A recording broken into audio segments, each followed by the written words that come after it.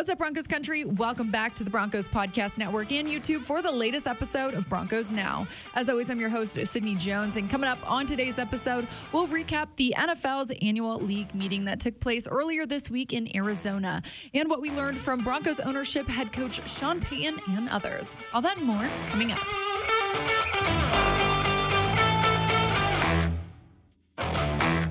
Earlier this week, the NFL held its annual league meeting in Phoenix, Arizona. Broncos owner and CEO Greg Penner, owner Carrie Walton Penner, head coach Sean Payton, general manager George Paton, team president Damani Leech, and several others were all in attendance. Sean Payton opened up the week on Monday at the AFC Coaches Breakfast and talked about how it feels to be back at the annual league meeting. I've done this a long time, and I know a lot of the people the coaches, um, a lot of the owners, not just our own ownership group, many of the other owners, uh, uh, some of which I've worked for, and some I've just known for 16 years as a head coach and, and 22 years total. So it's good to be back and see, uh, uh, and and not just it, it's it's everyone. It's the this is the it's not the circus, but it's the same group of people you see at the combine for the most part, a little bit different. Owners' meetings. Um, we'll have a draft, and uh, it's good to see those people, and, and, good to see a lot of the media people that I've worked with before. Some of you, this is the first time, and um, all good. He went on to talk about the team's free agency strategy, his preseason approach, and several other topics. One of those being the rumors surrounding wide receivers Courtland Sutton and Jerry Jeudy. I would say a number of teams have called on those players. Uh, but I, I, said it yesterday it's not something we're interested in doing. So you'd have to do your homework and you can do you know figure out how it all got started. But uh, obviously, there's a in the off season. There's a, everyone wants to be on top of any type of transaction. I understand that, um, and it, it it'll continue, I'm sure as we get closer to the draft, if you really look at the draft and you look at the receiver depth in the draft, it's not a real deep draft. So if you're a team that's looking for receivers, we're not the only team people called. You know, I'm sure Houston with Brandin Cooks, other players like that. It's it's pretty common in the offseason, I think. And during general manager George Paton's media scrum, he talked about how the team executed their free agency plan and how they're looking to prepare for the NFL draft you know, going back to when we made the you know trade for Russ, we knew that one one of these years we'd have to be aggressive, you know, and and this was kind of and then when we got Sean here and we and we met and you know if there were players there that uh, at positions of need, we were going to be aggressive. You know, we don't have the picks, we only have five picks, and and so we were aggressive, and you know we had a plan, and I, I felt like we executed that plan. You know, we certainly have to make some hay, you know, in those top thirds, and really all the picks, Mike. We only have five, and so uh, really since free agency finished, you know, Sean, myself, and and a couple of our scouts, we've sat in the dark room and just we've hit the draft. I didn't go to any pro days, and we just focused on on the draft and specifically, you know, those top threes, and and uh, so we're really gonna have to make hay. Plus, owner and CEO Greg Penner and team president Damani Leech spoke on the future of Empower Field at Mile High, including the current renovations that are taking place in the stadium market research survey that was sent out to season ticket holders. Currently, things are as we say. I tell Greg every two weeks. I give Greg update on where we are. We are on schedule and on budget. Uh, the the scoreboard is down, uh, as you saw. Bucky is down. Bucky's you know safely being taken care of, which we we appreciate. I think we made some videos of that, but stadium uh, scoreboard's down. You know, we'll come back up towards the end of the summer, 70% bigger. Really excited about that.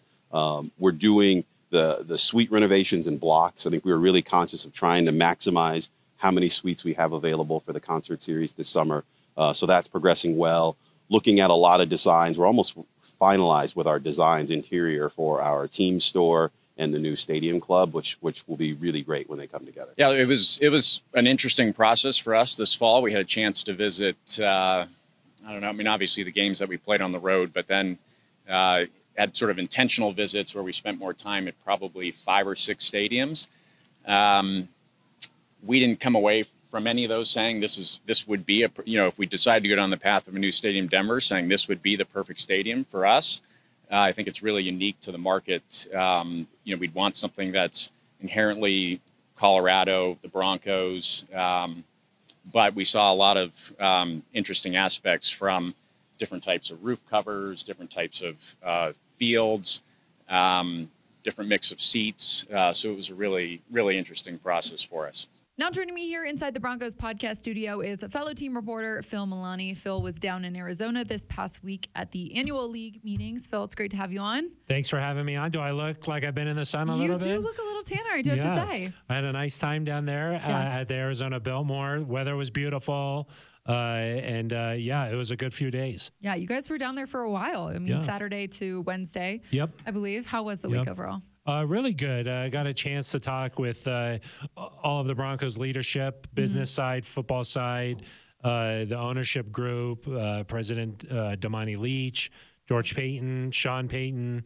So Yeah. yeah, it was a good week. That's great. I'm so glad it was, Phil. Yeah. I know earlier in their show, we heard from Sean Payton, George Paton, owner and CEO Greg Penner, and Damani Leech, like you just mentioned. But, you know, through all of their press conferences and scrums that they had, I guess what was your main takeaways just from the week and everything that they talked about down there? I think that uh, one takeaway was that it seemed like everybody was on this same page. Mm-hmm. You know, uh, talking to Sean Payton about you know the guys coming back in the offseason program starting here. Oh. Uh, his message about that was, "Hey, it's time to get to work with these guys." Uh, Mm-hmm. he and he talked about conditioning and the weight room. I mean, that was a, a big priority for him. And he said last year the injuries got out of control, and to try and prevent that, you know, let's get this team really in good shape.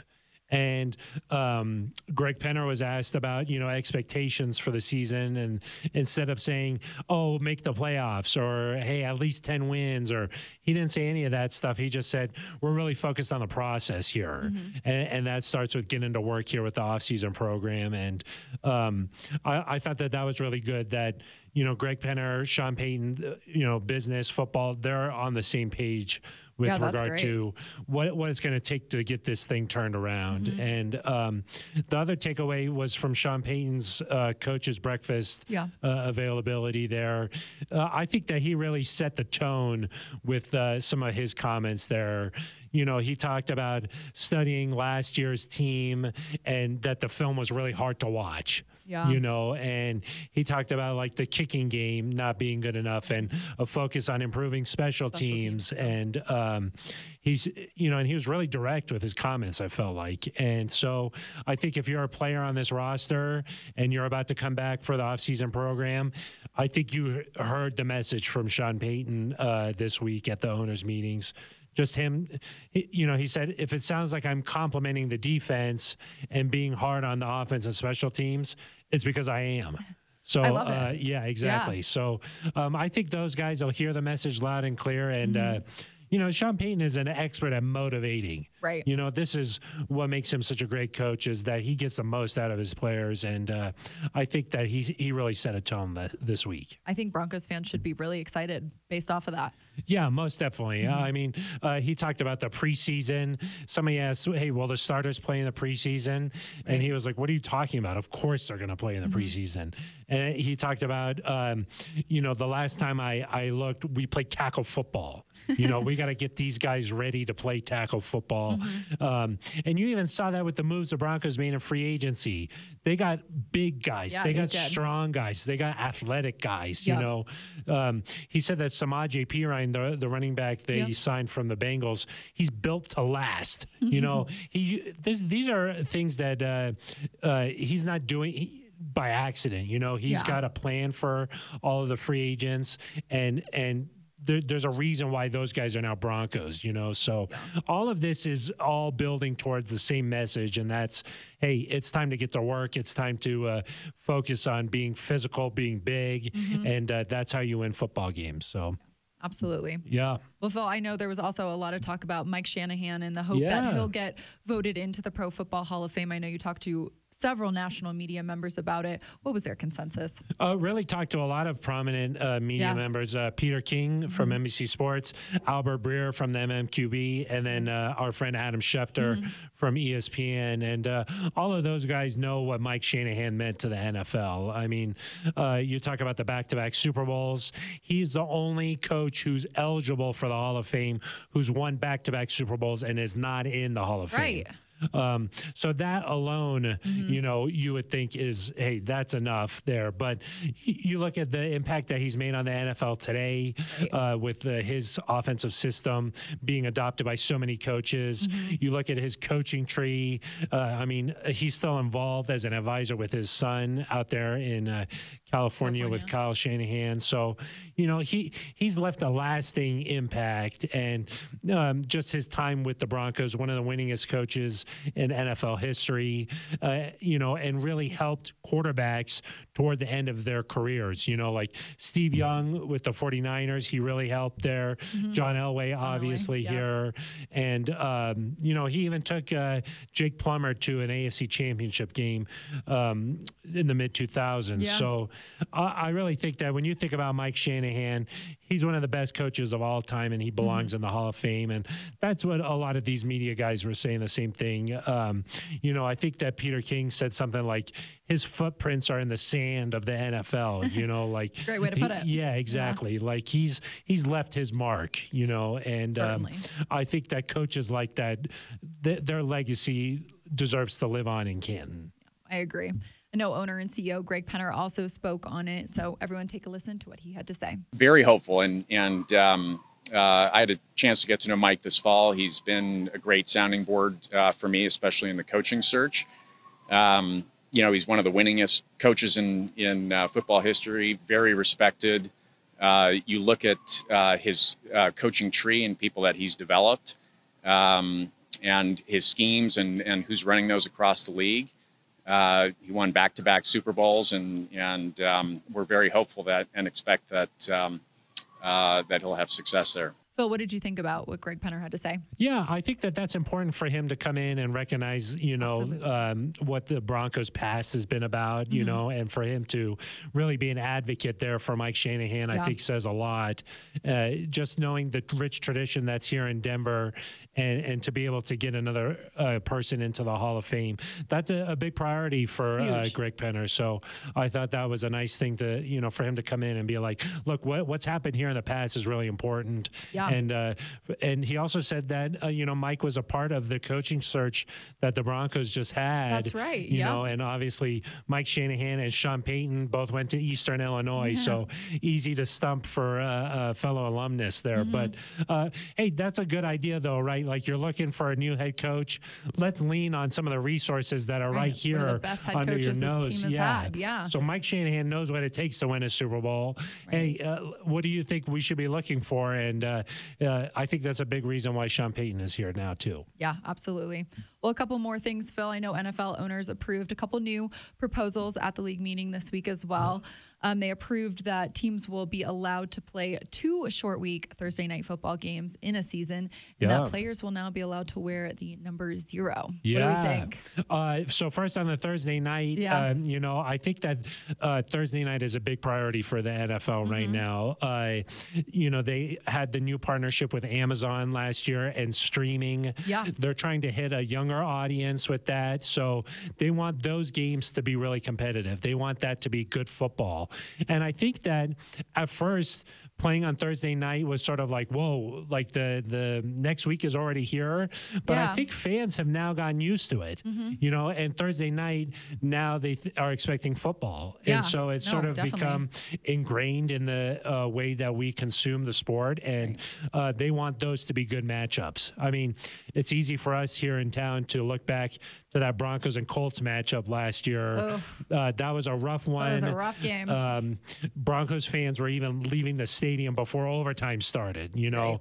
And Al Michaels, uh, his legendary quips, uh, you know. Uh, the, the Broncos and Colts were victim to that uh, also. So they want that to be competitive. So um, I think they want those matchups to be really strong. So uh, it makes sense that they, they're going to allow uh, good teams they want Right. play a couple of games. Yeah, I was Um, going to say, as part of the change, you know, not all teams will be guaranteed to play a Thursday night game now. Exactly, exactly. So they want good matchups there. They want that to be compelling television um, uh, because Thursday night it's the only game that's on TV Yeah. Mm-hmm. and it's streaming and it's hitting a younger audience, and uh, I think that that's a big priority. Now, the f- the players are probably like, what the heck, you know? Why Yeah. why do we have to Two play short two short weeks? Yeah. You know, but the NFL keeps so much data and statistics, and they use they really use that to drive their decision making. Right. And according to their data, it says that there's not a higher tendency of injuries on these short weeks.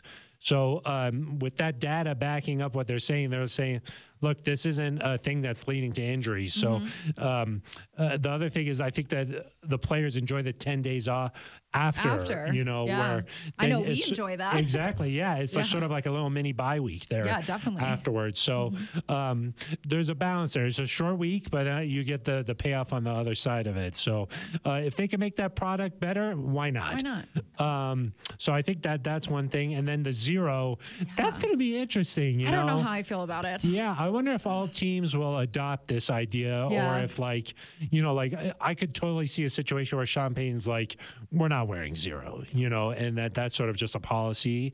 But um, Mm-hmm. And then you see teams like the. Jaguars immediately afterwards.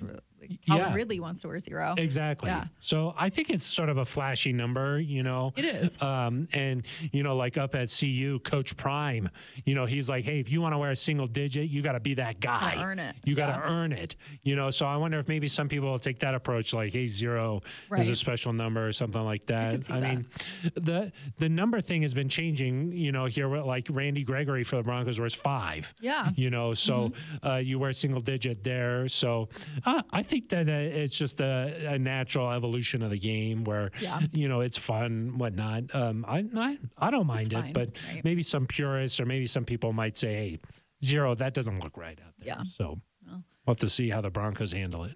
Busy work for you down there, Phil. Yeah, but it's Yeah. good stuff. I mean, I No, like that there's a, a lot of league issues. There's a lot of Broncos issues. Right.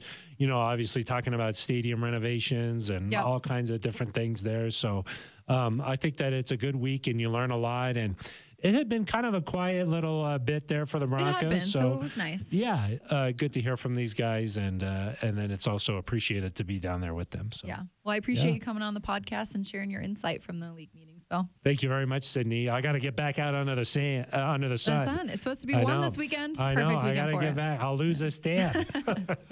Bill, thank you. Thanks, Sid. Well, that'll do it for today's episode of Broncos Now, Broncos Country. Thanks so much for tuning in. I'll meet you right back here on DenverBroncos.com and the Denver Broncos YouTube next week for another episode. See you all then.